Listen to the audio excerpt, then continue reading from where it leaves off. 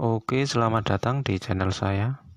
Kali ini saya akan membuat video tentang cara mengganti nomor HP yang ada di Grab Driver ya.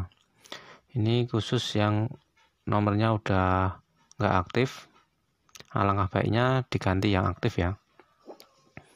Oh, ini buat contoh aja untuk cara ganti nomor yang sudah tidak aktif ya di Grab Driver. Uh, kita buka aplikasi GrabDriver terus di atas itu ada tampilan gambar kita ya. Kita klik terus kita pilih di ini ya di akun ini nah, akun ini yang ada tulisannya itu. Nah, ini kebetulan kalau saya beri gambaran dikit ini untuk performa ya performa ini masuk elite ya ada di aplikasi GrabDriver itu ada member elite elite plus. Nah, kalau yang baru itu biasanya member.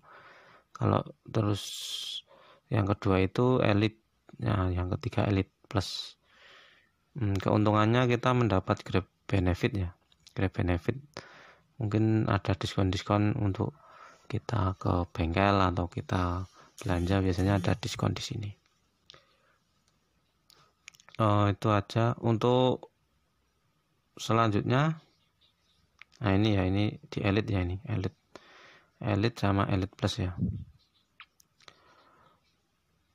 Oke langsung aja ya kita membahas untuk yang tadi untuk mengganti nomor grab driver ya yang sudah tidak aktif. Di atasnya ada profil saya di sampingnya ada gambar pensil. Nah, kita pilih gambar pensil ini ya. Karena untuk mengganti nomor kita bisa di aplikasi ya. Jadi nggak usah datang ke kantor kita ganti di aplikasi kita sendiri. Terus ada tulisan nomor ponsel ya nih. Kita pilih nomor ponsel. Nah, kita nanti masukkan nomor yang aktif ya di sini. Ini ada tulisannya.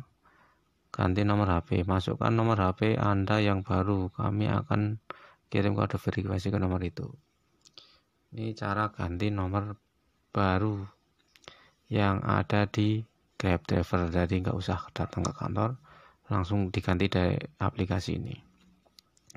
Oke itu sedikit aja ya cuma buat gambaran untuk mengganti nomor yang sudah diaktif. Terima kasih. Uh, jangan lupa subscribe like comment and